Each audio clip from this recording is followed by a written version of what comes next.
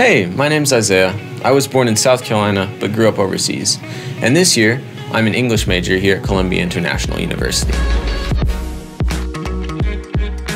During high school, I really wasn't all that interested in CIU, even though my relatives spoke highly of it. After a semester in Illinois, I transferred here due to financial reasons, and the Lord really used that transition to grow me. I'm in the English major because I want to go into higher education. All of the faculty in the program are absolutely amazing.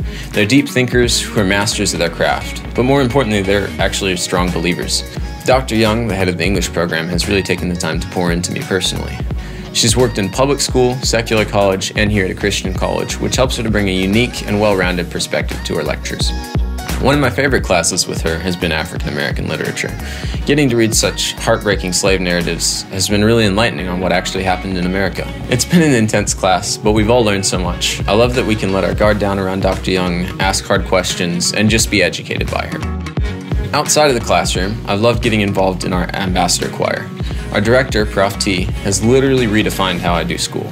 He's taught me that if we want to give the Lord our best, we've got to do our best.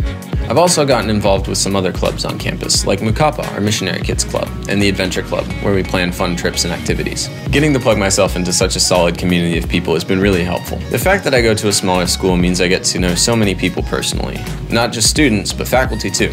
And getting to hear the reasoning and justification behind leadership is so helpful because that's what I want to go into. I'm grateful for my time here, where I get to witness a Christian administration in action and create those personal connections. After I graduate, I plan to spend time teaching in high school and college before moving on to an administrative position in education.